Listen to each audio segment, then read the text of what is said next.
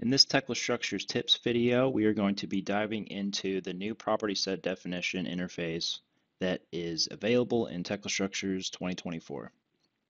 These property set definitions relate to the properties that we are going to export with our IFC models that are related to those individual IFC entities or IFC um, model objects. We're going to give an overview of the renewed IFC property set export. You can see the interface here. We're going to understand how to customize these property sets, how we can add in the standardized property set groups by building smart, and then we'll view how this information is accessed in Trimble Connect. Let's navigate to the IFC export menu so we can view where these property sets can be modified. We can access these property sets in both of these IFC export options, whether it's IFC or IFC4. Let's just use IFC. And now when we select on the edit button for property sets, you'll notice that there's a new user interface for customizing our property sets. Uh, this makes it easier to find and map uh, the Tekla properties to our IFC properties. Uh, it's a lot more intuitive. We can import and easily add standardized property set definitions that are from Building Smart. So overall, this is going to make it a lot easier to define exactly what you want to have exported with your IFC files. Let's go ahead and just create a brand new property set definition. And we'll take a look at all of the features inside of this new interface. So let's first manually define a property set definition for uh, this configuration file. Let's give this property set a name. And we can have these property sets just be for one type of object or it could be for several objects. So I'm going to do a more specific example. I'm going to create a property set for pour objects and one for reinforcement. So let's call this pour object information the description, all relevant attributes for concrete pours. We can even define a filter for these objects. This is a new filter save setting, so you might just have a standard property there. We can also come into this dialog and add in our own filter. So let's go ahead and create one. Call this pour object. And let's delete these rows out. I'll add two rows, works one row. We just need to define that the object type is a pour object. There we go. I'll go ahead and save that. And then I can use that filter for this property set group. If you're ever exporting some property set definitions that you've created and you notice you do not see them if you are viewing them in Trimble Connect or some other software, it could be because you're not selecting the correct IFC entity type. You could select every single one of these to make sure you have that option for everyone. Uh, you can also just select the uh, specific group um, that applies for that type of object. For pour objects, it's IFC building element proxy. But if you're unsure too, you can always just check more to make sure you've got that covered.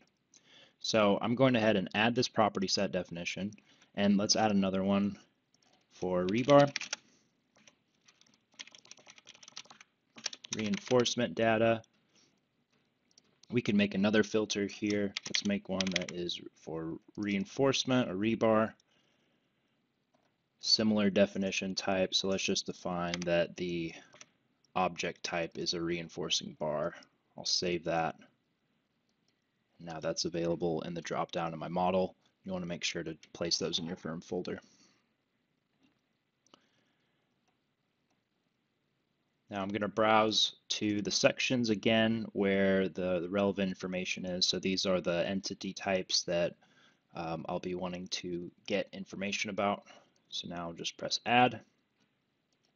And we can also have several uh, property set groups here, and you can choose to include them in the export um, or, or not, just by checking that box there.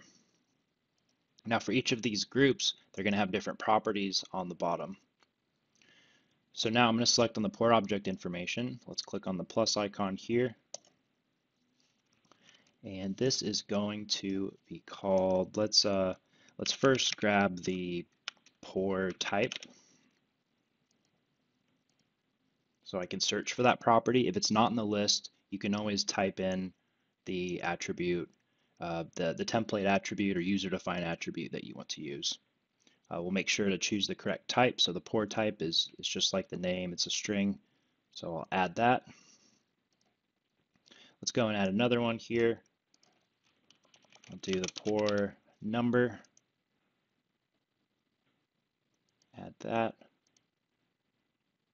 And we'll do one or two more. We'll do the pour planned start and end. So I'll add that and we can just keep this menu open. Add that one and there we go. Now this name on the left side, it doesn't need to match what the property name is. Let's edit this first row just so we can view that in Trimble Connect where the IFC properties can be read. So I'll just change this a little bit, call that port type, and then I'll modify it. You can see it's updated the name there. Okay, so let's go ahead and save this. Definition file. And we're going to want to make sure that we have a definition for our rebar, so let's go ahead and add that. Uh, this will also be a good opportunity to show how we can get industry standardized properties um, from Building Smart. You might just want to grab those properties uh, because most likely that, that'll be a lot of data you want um, for, for your workflow. If there's only a certain amount of you know properties you need, you could add them in manually. But let's go ahead and show how we can import these property sets. Now I can search for a group of um, properties, like if I type in reinforcing bar, let's add this uh, definition here. So I'll press on import, and that's actually going to create a new row here. So I could delete my old one um, and, uh, and, and just use this one if I wanted to. You can see it's going to fill in uh, it could fill in a lot of the information for us.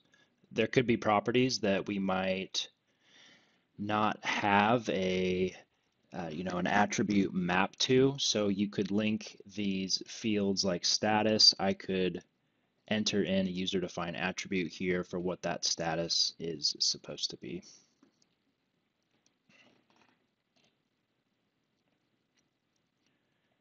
so let's save this, uh, we can't save it yet. We still have to define one for rebar. So let's go ahead and search for a couple properties for rebar. Call this bar mark, add that in. Let's add a couple dimensions in for the leg lengths. Just say that's A. We'll do dim B. and dim C.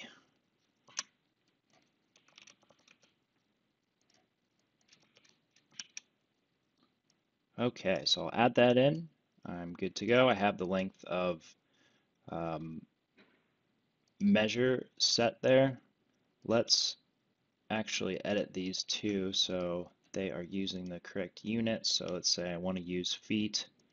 Let's modify that one and these other two.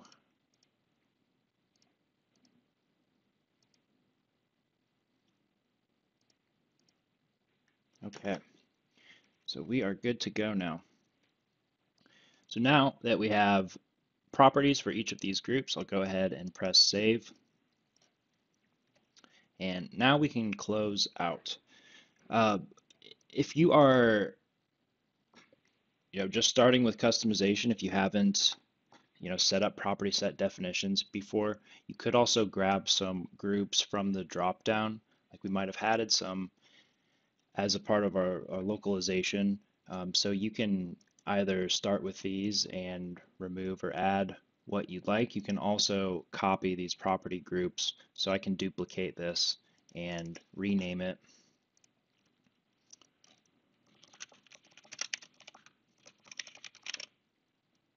modify it. And so I can start not necessarily from scratch, but you can take what's been localized or the properties out of the box and customize them to your liking. So now let's exit out of this properties window.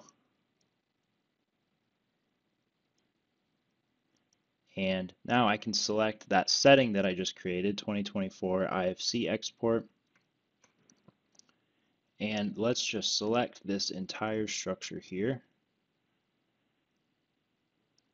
And let's export. And then we'll go take a look in Trimble Connect and see how these properties are viewed. Once I exported the IFC, I placed that into a Trimble Connect project. Now I'm going to open that in our Trimble Connect web version. And let's view how this data is going to be organized then when reviewing information for these IFC objects. So let's select on my pour object and I'll click on the info button. Now the name of this property group, you'll notice that it's going to match with this property group, um, how these IFC properties are organized. And then of course for each of these groups, we're going to have all of the properties that we defined. So the pour type, the pour number, my start date, and my end date. In that first example I was showing, you can type something more descriptive. It doesn't have to be the Tekla property name that you're defining. It could be a more, uh, you know, human readable text that, that'll be easy to comprehend. Now let's go on to our rebar. So I'll go ahead and hide my selected pour. Let's select on reinforcement.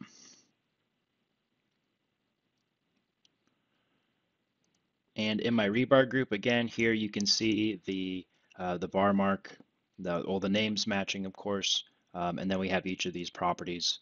For a certain property, it might not export if, um, if, if that property doesn't exist on the part. For that bar shape, it didn't have DIMC, so we're not viewing that um, under this group.